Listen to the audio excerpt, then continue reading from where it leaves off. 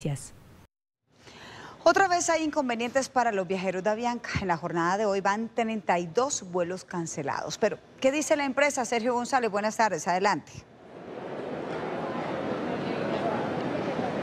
Jessica Televidentes, muy buenas tardes. Mire, pues ellos dicen que las operaciones ya se han normalizado. Son 490 vuelos que se tienen previstos durante el día de hoy. Y de estos 32 que usted habla que se han cancelado, los principales destinos afectados son Cali, Barranquilla, Santa Marta, Cartagena y Medellín. Pero hay una cosa adicional. La mayoría de pasajeros se han quejado porque la compañía no les notifica con anterioridad el cambio de itinerario. Así nos encontramos con una historia de dos jóvenes provenientes de Cali que van a participar en un campeonato nacional de patinaje y por poco se quedan del vuelo y no pudieron participar en, esta, en estas justas. Lograron llegar a Bogotá y ya se encuentran camino hacia Tunja. Veamos a continuación el siguiente reporte.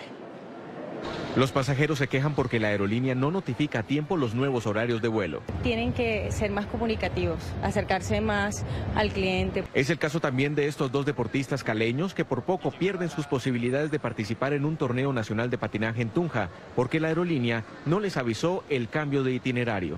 Nos afecta que se adelanten o se atrasen vuelos porque puede que no haber llegado. El vuelo se había cancelado y que pues eso era de como asientos porque no nos avisaron, que porque pues no notificaron.